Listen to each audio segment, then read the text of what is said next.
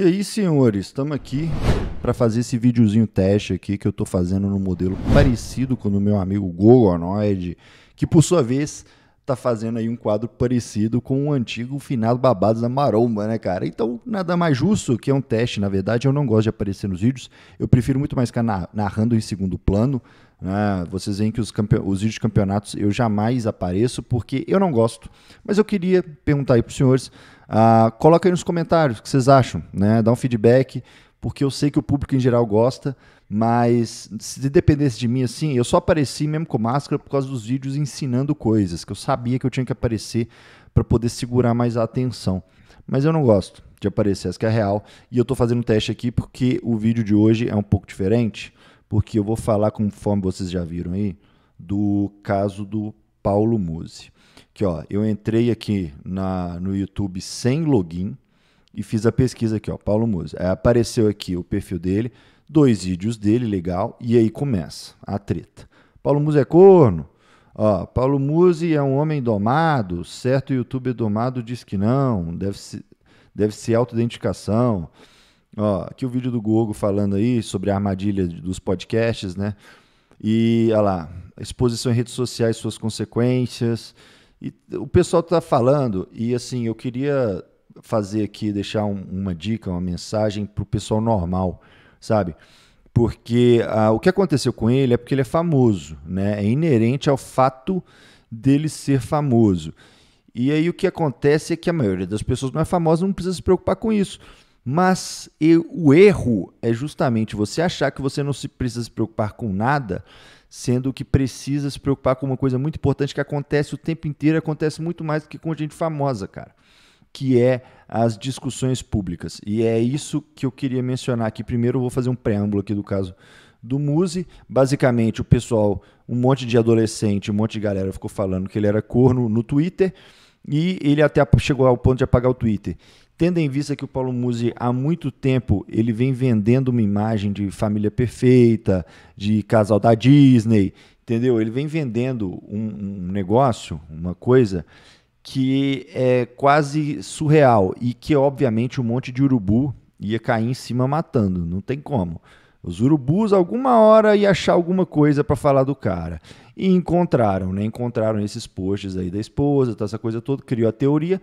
E o, o grande erro dele foi o de pistolar no Twitter. Esse foi o grande erro dele. Na hora que ele pistolou no Twitter, velho, aí acabou. Entenderam? Aí acabou. É, ele pistolou no Twitter, ele assinou um contrato falando: revirem a minha vida e de toda a minha família até se darem por satisfeitos. E as pessoas, essa galera não se dá por satisfeita a menos que você esteja né, debaixo de sete palmos na terra. Então não ia acontecer. Eles vão continuar, vão revirar a vida dele, da esposa, dos filhos. E aí, velho, entrou feminista na jogada, já deve ter advogado é, entrando em contato com a esposa dele para querer lascar ele todinho na justiça, sabe? É, não tem a menor condição. Não tem a menor condição. Ele se lascou muito. Eu, eu fiquei pensando, caraca, parece que o Muzi nem trabalha na internet há tanto tempo assim, né? Uh, porque ele, ele, ele não podia ter pistolado no Twitter daquele jeito, cara. Ele não podia ter feito isso. Mas fez. Né? E aí, aí não teve, aí não teve como, né? Então, assim, o que, que acontece é que o, o, a galera que não é famosa precisa entender que tem urubu em todo lugar. Então, quando você está, por exemplo, em um grupo de WhatsApp, grupo de Facebook, grupo de Telegram, e você se mete em uma discussão em público, o seu cérebro ele funciona de um jeito diferente, porque quando você está na discussão ali no X1, você está discutindo com uma pessoa para uma pessoa. Quando tem um público, você sabe que você tem plateia. E aí o seu cérebro muda, porque aí você tem que pagar de grandão, né? Você instintivamente que é mostrar para todo mundo que você vai ganhar a, a, disputa, sabe? A discussão, mesmo que ela seja infrutífera não vai levar a lugar nenhum jamais, que é o caso de 99,9% das discussões em grupos. Então o pessoal começa a entrar, começa a jogar a lenha na fogueira, que é o que acontece. Alguns compram a briga um do outro. Daí a pouco, uma discussãozinha idiota que não ia levar em lugar nenhum, né? ninguém a nada. Daí a pouco aparece a CPF do cara, endereço da mãe do cara, a escola que o filho do cara trabalha, uh, o nome do ex do, do, do marido da mulher. Velho, começa a aparecer todo tipo de coisa, denúncias, processos da pessoa.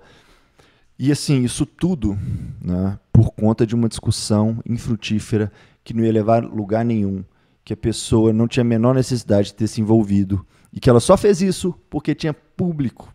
Se ela não tivesse em um grupo cheio de gente assistindo a confusão, a discussão, a treta, ela não teria feito nada disso. Vocês entendem? Então, cara, é, essa coisa toda do Paulo Musi, o que ela me mostrou foi é, um, um, que gente famosa tem que ser esperto. Se você ficar pistolando sobre zoeira, independente se você responder a nível quinta série igual ele fez, porque ele é assim, ele tem esse humor, sabe? Uh, independente disso, se você ficar pistolando por conta de zoeira, você está ferrado. Né? Você está ferrado. E se você entra em discussões, se você é uma pessoa comum e acha que está imune a isso, e entra em discussões em grupos públicos, ou seja no Twitter mesmo, você está se sujeitando a ter a vida completamente revirada e o mínimo erro que você tenha cometido, e não se engane, todo mundo tem pequenos erros, né? As melhores pessoas vão ter pequenos erros, as piores vão ter erros um pouco maiores. E isso também não quer dizer muita coisa, porque a gente muda e se, e, e se converte, assim, e se conserta na jogada. Então, velho, muito cuidado aí com as tretas que vocês entram, que não, principalmente as que não vão levar a lugar nenhum. Se a treta não, não vai levar a lugar nenhum, nem se, nem, nem se envolve, velho. Nem faz nada.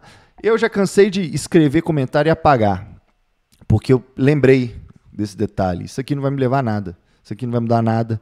Amanhã eu vou até ter esquecido disso aqui, mas eu, eu fazer isso aqui tá me sujeitando a tanto problema. Para quê? Para que, que eu tô me envolvendo? Para que, que você vai se envolver, velho? Então se inscreve no canal aí. Deixa o like no vídeo se você gostou. Deixe nos comentários o que, que você achou, tranquilo? Valeu, um abraço e até, até mais.